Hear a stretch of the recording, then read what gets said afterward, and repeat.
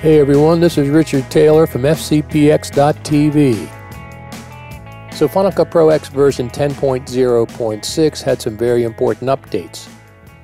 One of them that I'm going to go over now is persistent range selections.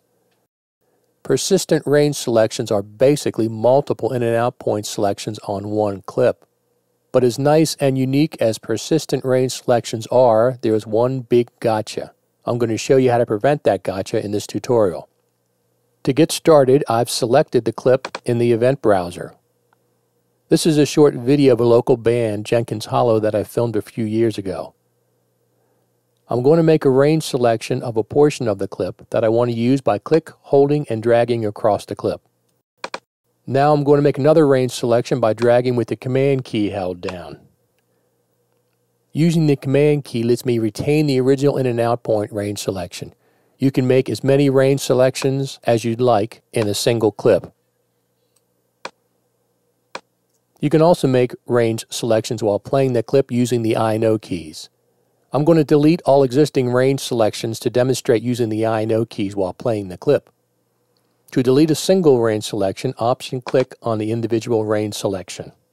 To delete all the range selections in a clip, just select the clip and press Option X. Now I'm going to play the clip and hit the I key for an in point and the O key for an out point. Now I'm going to use Command Shift I, Command Shift O, Command Shift I, Command Shift O. After you make your first in and out point range selection using the I O keys while playing the clip, use Command Shift I to set a subsequent range in point and Command Shift O to set the out point. You can do this as many times as you want on a single clip in the event browser. All of these range selections are remembered. If you click off of the clip and then click back on it, all the range selections remain. But there is one thing to be aware of. If you make a mistake and click just the I and O key, or click and drag a new range selection on the event browser clip without using the proper modifier keys, all of your previous range selections instantly disappear. Let me demonstrate.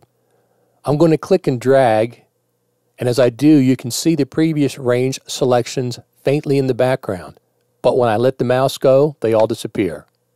Same thing happens if I now play the clip and use the I key. The previous range selections disappear.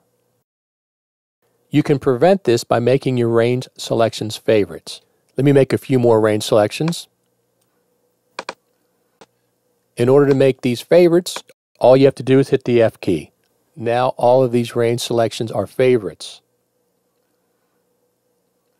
If I make a mistake and start dragging, the persistent range selections disappear, but the favorites remain. Another advantage to favorites is that you can individually name each one of them.